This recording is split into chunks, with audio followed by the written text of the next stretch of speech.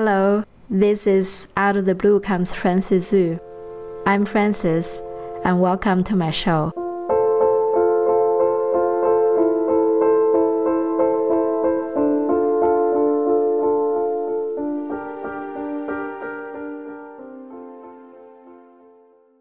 Welcome everyone to another episode of the Out of the Blue Comes Frances Xu show. Um, this week, I have Emily Alexander with me in the studio with you. Hi, Emily. Hi, Frances. Thanks for having me. Yeah, pleasure. Well, yeah, I we were talking a little bit before um, before recording this episode, and miracles um, come strongly to mind as a topic. And when I look at Emily's life, I really see that is a big miracle unfolding just endlessly from the moment I met her. And of course, before that, she has a lot of um, miracles that led her to this to that moment where we met. But I met Emily, I believe, in 2012. Um, 2012 in Ireland. That was the first time. Yeah, 2012 or 2013, but around that time. Yeah. Yeah. And then the next time was probably very soon after, a few months after we did um, a weekend, long weekend retreat in England. And that's where Emily came again. And I remember very distinctly um, in the middle of the retreat, I heard all these participants, they were talking. One of the participants um, is going to quit her postgraduate um, certificate, or like it's, it's almost like she is in the middle of this two year pro- program in psychology. And this, this participant felt so inspired and she is so ready for the next step of her life that she's going to quit this program that she's half she's halfway in right after that weekend. And i remember hearing people talking about at the dining room and i'm like who is this girl? And it turned out to be you emily. And after that I just remember that you came to our strawberry festival and then went to Australia and hosted a three week silent retreat where I was there. So we had a very close collaboration for that three week time. It was very, very deep and it was very healing. And uh, yeah, it's also a very joyful collaboration between us. Then afterwards, the next time I, I saw you, um, you came to Mallorca, we had a six week devo- devotional stay, and you were facilitating, were overseeing the the logistics of the whole six week retreat. And then that's where your life just like one step after the next, one leap after the next. And um, right now you you're in Mallorca, Spain, leading one of our community centers. But the interesting thing is with you, Emily, I always remember um, the maybe the first retreat in England. You asked a question um, in the middle of the gathering. You said, I think maybe you already made up your mind to quit your psychology program. And you asked, you said, I feel so inspired right now. And I'm inspired to take a a leap of faith in my life, but I I don't really know after this weekend what would happen. Like it's all good and beautiful right now. After this weekend, I will just go back and what would I do? And I remember at the time when you asked that question, this movie Tangled just came so close, uh, clearly to my mind. So I remember I said something to you um, in the line that if you go toward that lantern, which is a scene in the movie, if you haven't seen that movie, I really highly recommend it. um, if you just go toward that lantern, you will never come back. It's a one-way road. It's it's it's once you step forward to to that direction, your life will never be the same. This question is irrelevant. Uh, there, that's exactly what I see unfolded. And then in Mallorca, you came to Mallorca for six weeks and you were going to go back to Australia at the time. That was your plan. And, and you're like, okay, I feel so expanded, but I don't know after these six weeks where my life would go. And the same movie came to mind after many years. And I said the exact same thing. And then when I was saying that, I thought, why didn't I say this before to you? But it's almost like the spirit was just saying this is how your life gonna look like. You go one step forward and everything is washed completely behind you. And that's exactly what I see happening. Mm. Wow, it's beautiful, Frances.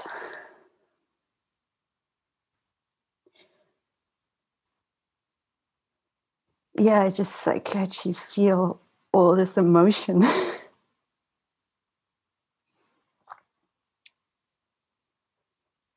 yeah, it's like I feel like you're reminding me of all the miracles.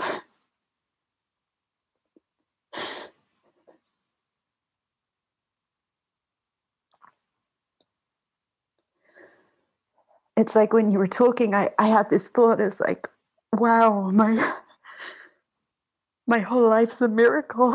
And um it's like that's like it's in that moment it was like that's all there's ever been or something. So it's so beautiful just to hear you share about it and your perspective, like all condensed down to all of these these major things that happened. And yeah, I remember that um that retreat that I went to with with you and David and a few others from the community and I feel like that weekend was really life changing for me um, because before that I had um, yeah I had been pursuing a career as a as an opera singer and and I felt like I was I had kind of given everything to it and I think there was something deep in my heart that I was looking for. And the closest thing I could find was the experience I had while singing. So it ended up being like this search, this, this, I think in the end, it turned into like this desperate search for, for some kind of meaning. And, um, but that was never it. I feel like that was never the spirit's plan for me. And it got to the point where all the doors seemed to be closing. And, um, and I just actually felt very blocked with my voice. So I remember there was one day where I just decided I have to go in another direction. I have to I have to let this go and I went from like my whole life being about singing to no singing at all. And I think that that was a good few months before I went to that retreat with um, with you and David and Living Miracles. And I remember before I came, I had like some resistance. I had a, I'd paid for the retreat and I'd paid for my flight, and some fear came up like I didn't want to go anymore. And only that I had invested all of this money in it, I, I was like, well, I'm, I'm, I'll just go. I don't really have anything to lose. And something happened on the first night in the first session where I just like cracked open and I had all of this emotion and and the whole weekend was just more and more of that like this like huge huge heart opening. And i don't know if it was the second or the third morning i woke up and something in me had to sing. Like it had been months of like no singing at all and but something in me felt so strong that i all i wanted to do was sing. And i remember i i was walking down the stairs and i bumped into David and I said, David, can I just go into the room where we're going to have the gathering and and sing before? And he said, Yeah, of course. And I remember going down and it's like I sang like everything that was in my mind, everything I knew. And then mm. David asked me to sing during the gathering as well. And and I just it was like something ignited in me, like something opened up that had been closed down and and that yeah, I remember just leaving that retreat with my heart cracked open and I was in the airport and I wrote to David and I just said whatever this experience was that I had, I want more of it. And I didn't really know anything about Living Miracles at the time. I didn't know anything about the community. I had just found David a few months beforehand. But I, I knew I wanted more of what I experienced. And that's when David invited me to come to Strawberry Um, and come to Utah for for two months and come to Strawberry. And even though he only invited me for two months, I knew I was never so certain of anything in my life as the experience.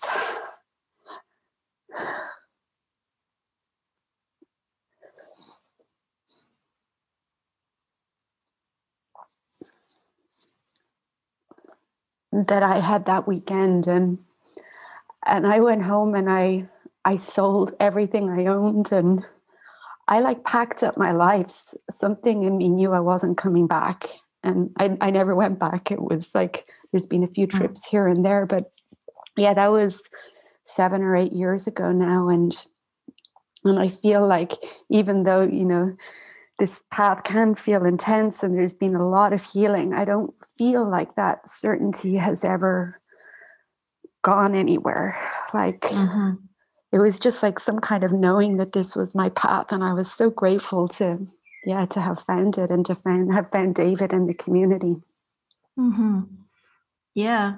Yeah that's right. You are you ha- you were trained um as a professional opera singer and i think you were sent even by your family to to learn opera in italy for probably a couple of years until you feel okay, I I feel blocked up because there was such a, a pressure underneath to achieve the success the success that you were looking for in music, in you know, in singing, and something really, you know, closed down in you that you couldn't really sing anymore.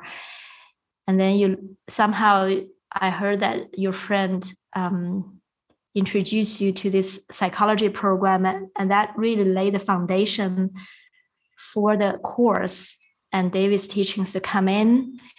But then after you came to the community yeah you started to sing again but with a, de- a very different purpose because it's not to achieve any professional standard.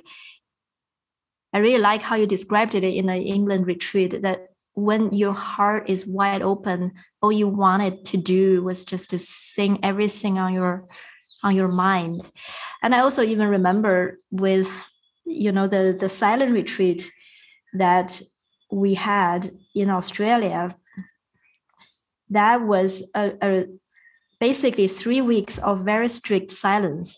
And the only other thing that is happening is singing every morning that we come together very early in the morning. Before the retreat started, a team of us came before the retreat and we started to make music based on course lessons. And it was such a fun time to jam to sing.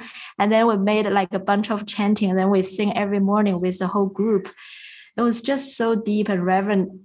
And then we closed the whole silent retreat with a concert everybody sing and read poetry. It was just that's what I see the fruit of the miracle is is this freedom to just express express this love and this feeling that we feel.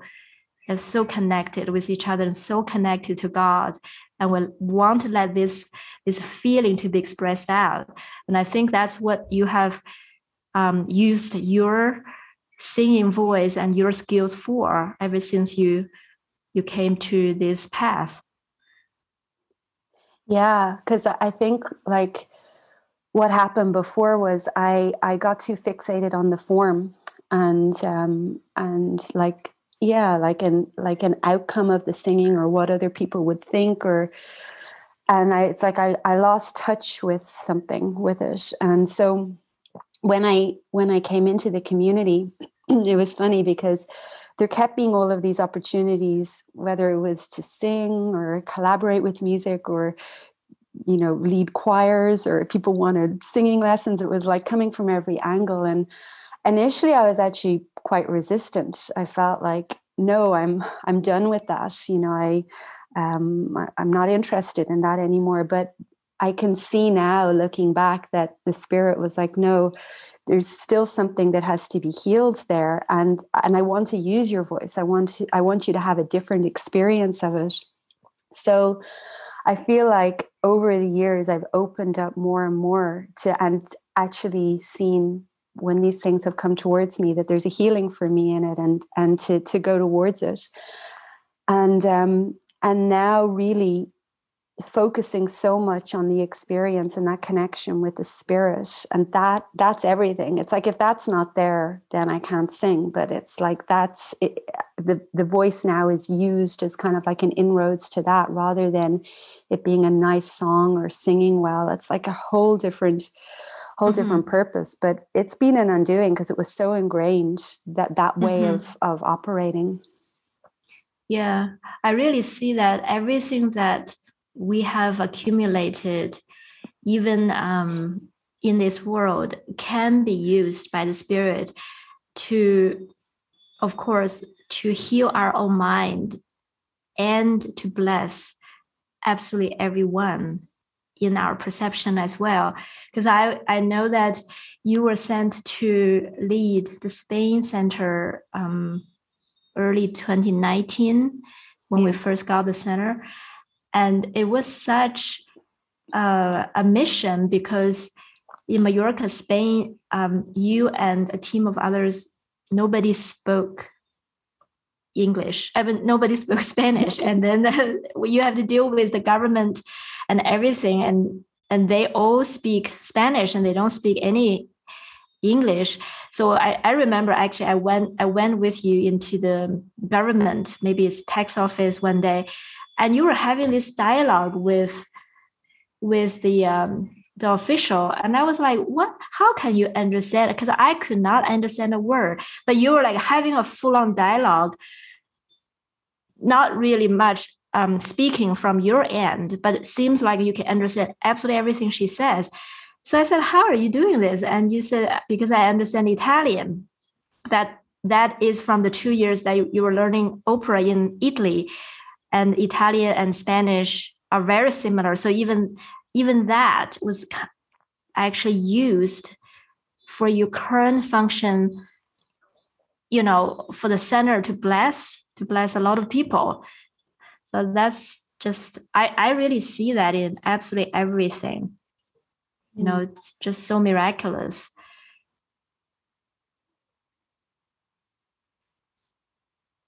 And with the singing as well you know i know that you have you know this this push pull relationship with the singing because you have such an experience if if you ever went back to that perspective that i want to sing well then you shut down straight away mm. so even even over the past years you still are trying to find this place inside where it is truly an expression and extension instead of trying to achieve something.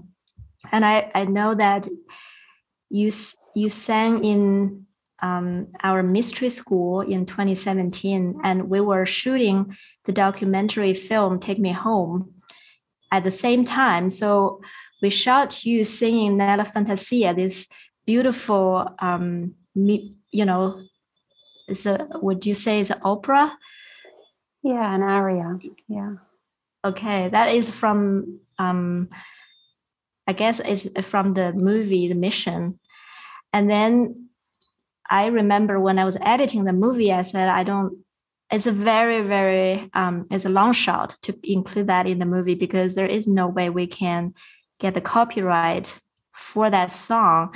And you also told me how difficult it is for the composer um, Morricone to give the right because Sarah Brightman, I think, wanted to wanted to uh, put lyrics to his music, and he said no for five years. Is that right? Yeah, I I remember hearing something about that, but I had a different experience even with well the, the reason I said that was because when we when you said there's maybe a chance that we would want to put it in the movie I found out who the um, record label was, and I wrote to them just to inquire what would be the possibility. And they wrote back and they said, um, we can check with the composer, but I just want to let you know it's extremely unlikely because the composer is quite difficult and doesn't really give rights to anybody.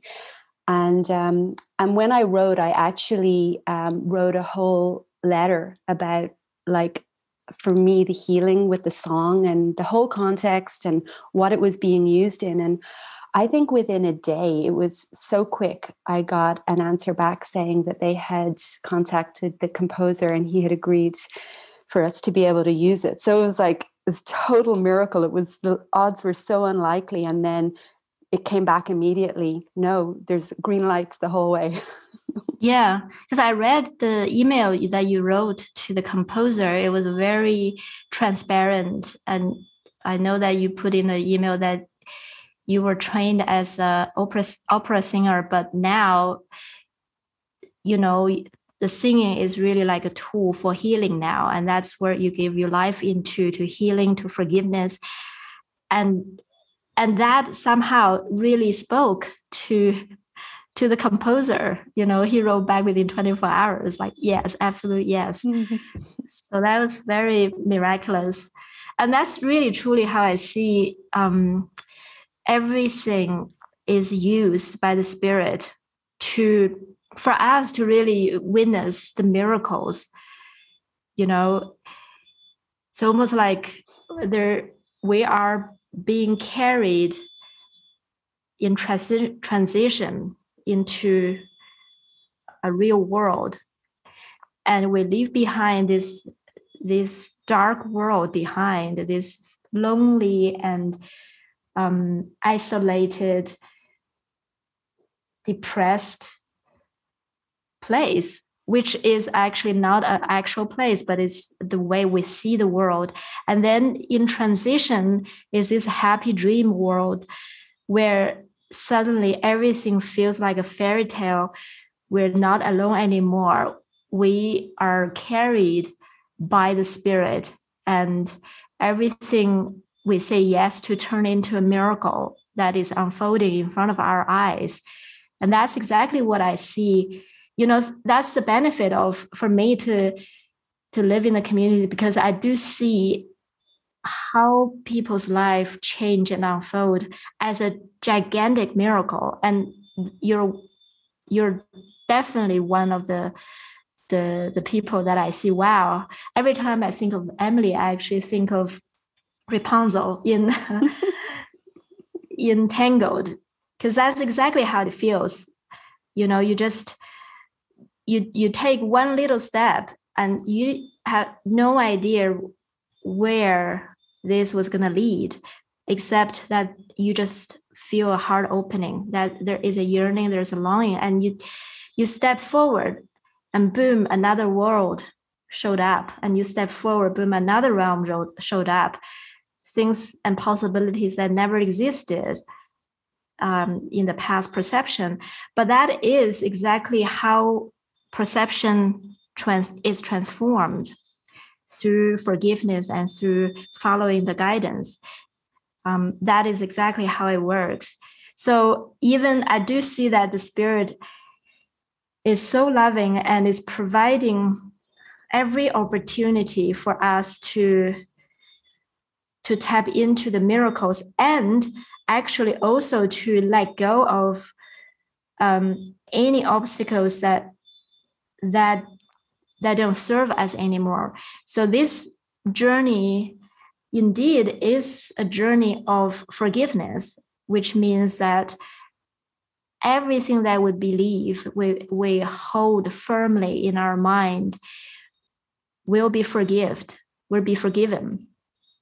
And and then so it does take um, facing the darkness. It does take this journey of going inward and yeah there's a lot there will be a lot of emotions coming up and i know that yet every step that's provided for you is like an answer to what you're facing or what you have to face in your mind So you're never left alone in facing the darkness. Mm. Yeah, I, I really see that. It's like, it's actually amazing just having this call with you and speaking about it because it's like, it's like I'm seeing this whole holistic perception of all of these years and that maybe in a way that I, I hadn't seen it before because like when when I met you and David and everyone, you know, that was such a transformation for me. But previous to that, I was in a lot of darkness, like like really kind of down on my knees. And um, but I see now like that the spirit was answering me it was answering me with what i really wanted in my heart but i i didn't know what that was it was like it just seemed like doors were closing over and over and over but when i did finally come to that retreat i didn't feel like i was holding on to anything from the past that i still wanted. It was like it all felt so futile that it was actually so easy for me to take that step like that inspiration i felt that heart opening.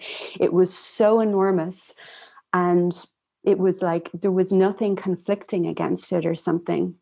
And i i have seen like that happen over and over you know on, on this journey. It's like it seems like okay something's being let go of but then something bigger comes in to like pull you through. And I feel like even with this center in Mallorca coming in, it was it was kind of the same thing because what, just before it came in, um, I was letting go of of a marriage, and that was a, a a very intense time for me, and just like yeah, just facing like a like a lot of emotions and and disorientation, and it was like yeah, I remember I was in Mexico at the time, and and then this center in Mallorca came in in this like miraculous way. But one day I was with David, and he said to me, "Well, we actually feel for you to go and set up the center and and to lead it." And he said, uh, "So if you choose to accept, it offers enormous potential for expansion." And I remember just something leapt in me. as like, yes to enormous potential for expansion it wasn't really about the place or the the form of it but i could feel like this invitation from the spirit there's a huge opportunity here do you want it and it was like like yes like it wasn't even a real question or something it was like there was no other there was no other like option and um and so when i came here like I was still going through a, like a very deep letting go process, but I was uh, I could just see that the spirit was giving me this to whatever the the hole that I perceived was the, the lack that I perceived within me. He was giving me an opportunity to fill that up in a real way, and so like when we first landed here, there was so much to do, and people were sent from all over the world. Like I was just thinking back on it today, like the first six months, we were full. And so there were all of these people here, and and every day we had like these collaborations with all of the projects and everything. And then like so many calls for love, like in whatever in whatever form. And I had so many opportunities to meet those calls for love. And it was like I remember having this awareness one day that I was so grateful that so much was being asked of me because I really, in a deep way, acknowledged or experienced that it's I it's the only way I could receive. I was mm. being asked I was like, thank you for asking so much of me. Like, thank mm. you. Mm. Because I was giving so much and it was like i could feel my heart opening up more and more. So so i yeah just looking back i can see how that was an answer to a prayer. That was that was like a way of of starting to recognize that what i was searching for or what i thought was missing was actually within me and the only way that I could really experience it was to give it away. And I had to have so many opportunities. And I was given so many opportunities and continue to be given so many opportunities to to give because it's the only way I can experience that that love within. Yeah, oh that's so beautiful. That that is exactly how I feel as well over the years. It's like we we can't really receive the blessings from the spirit and hold it to an individual self. And that is the way that this world or the ego is in a way um, expecting the gift or the blessing to be received. Is i ask a blessing for myself. I ask a healing for myself. I ask a direction for myself but from the spirit's perspective you're not the so-called yourself as you think and you can never receive anything unless you extend it as well. You're never able to receive something unless it's received for the whole, unless it is received for the whole sonship, because you are the whole sonship. So it's like if if we're asking a blessing or direction or a question. And it is for an individual life. And then you know it's only for me. It's it's never the case. So when we, re, we when we ask for healing this healing is extended to everyone. And then if we're willing for ourselves to be used in that way then then we will see that is the case you know and that is exactly you know how i feel too this journey truly directed the mind to be more asking for how can I serve? How can I give? How can I forgive so that I can learn forgiveness? How can I teach forgiveness so I can learn forgiveness? How can I um, answer a call for love so that I can my call for love can be answered? And that is that is exactly how it feels when I actually perceive a call for love outside of me. And i was asked to offer something you know i actually received the spirit's blessing in that same pre- uh, process. And then i witnessed the spirit. That's how i got healed. So so that is truly a blessing that this this um, opportunity and this role that that we're given you know to seemingly overseeing a center which you know even though i know that on the surface it's all about logistics it's all about counseling it's all about handling things but deep down in essence it is a spirit lesson being learned that when i give i receive and i'm never give to myself so, yes, very, very deep.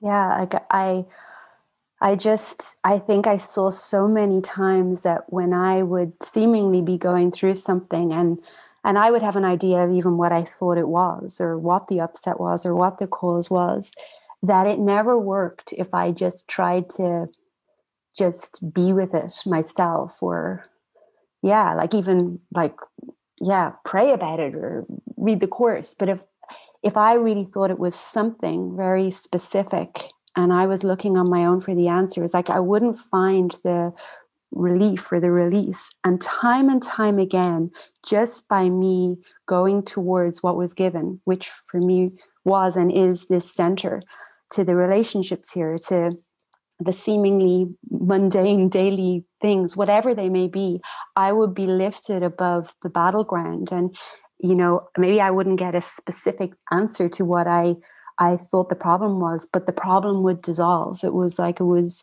it was no longer there. And I was just given these experiences over and over to see that it's like no it's in the extension. It's be giving myself over being used was always going to be the solution. And that was really really powerful for me actually.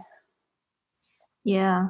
And it's also such an experience. That's exactly how the spirit teaches um, and how we learn it has to be through experience for example you were given this this enormous next step, which is to come to a, a brand new place, um, to a place that you don't speak the language, and and then set up a whole center and welcome people from all over the world to come to the Center for Healing. But that is the next step that offered after you you let go of a marriage. And you're going through this inner healing of loss. And you know of course the way that we think is if we feel lost the way to heal it is to uh, get the partner back.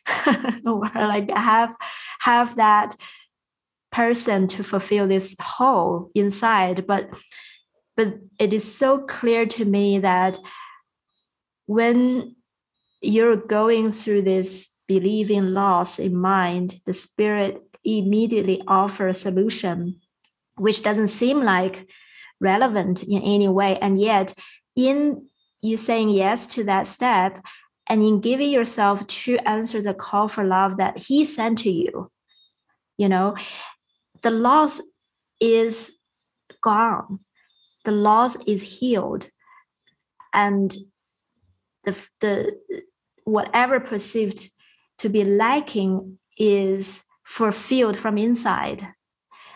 It's from from you you know you you realize you have it but you see it through extending it. You have it. So that is such an experience to learn that you cannot lose the ones you love jesus says that is actually the most um, i can't remember the word that he used almost like a, the most uh, ridiculous belief of all that you can lose the ones you love. Because that is still assuming that a person um, is able to fulfill something and without this person there will be a loss like almost like a loss is tied to the world and it's not tied to how we feel inside and, and our relationship with the spirit. But yeah i just see that this kind of assignment is given you to to learn that. And yet you're teaching it at the same time because as you learn in your mind and feel more and more happy everything that's sent your way is for you to teach that there is no loss and we can count on the spirit we can count on guidance so it's like you you don't just heal for yourself you don't just receive the next step for yourself this next step is for you and for the whole sonship. Mm. That's exactly how it works. Mm. Yeah, I, I really saw that because I I just I started having these experiences where I was falling in love with everyone. Like it was like this deep intimacy, but it wasn't wasn't necessarily specific to a certain person it was like with everyone it was like it was the healing that was happening was was the intimacy and and I witnessed that whatever I was experiencing or whatever was happening for me, I, I saw it in everybody else. It was like it was a shared experience. It wasn't, yeah, I feel everybody was here for me, but somehow we were all there for each other. But yeah, you can't really experience it for yourself and not see it in everybody else too, because it's like it's all connected. So that was mm-hmm. kind of mm-hmm. amazing. Mm-hmm and i i do see that um yeah at, at the level of form things are constantly shifting and changing but that's also the way that the spirit is is using all kinds of symbols to help us lo- um, lose the attachment to any particular symbol and any particular meaning to try to hold on to one thing that worked in the past to keep fulfilling um, something. So you know in a way that i feel enormously grateful for the fact how fast paced our lives are you know it, it's it's fast paced is is constantly shifting at the level of form but internally the dependence on the spirit and God is just become more and more strengthened. Mm.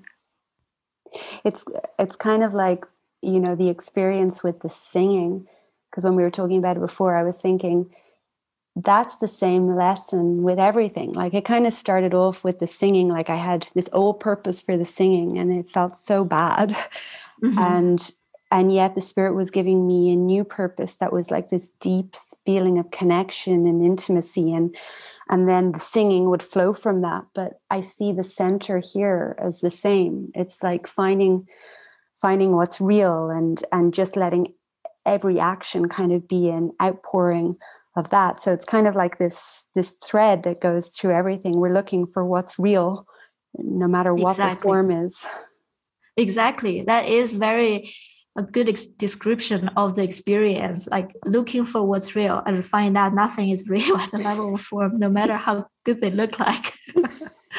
yeah, yeah, yeah. Just finding the spirit in every moment, like that's the only mm-hmm. thing that's going to sustain. Mm-hmm. Mm. That's beautiful, Emily.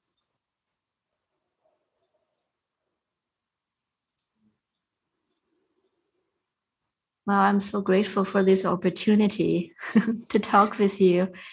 And yeah, just to be reminded of how miraculous our life is once we just lean back and hold hands with the spirit to carry us. So mm. Thank you for being a demonstration. Oh, Thank you, Frances. And yeah, just thank you for this opportunity because I, yeah, I feel like I'm being reminded of it all again. And that's very, very inspiring. So thank you so mm, much. That's beautiful. And thank you, everyone, for joining Emily and I. I'll see you next week.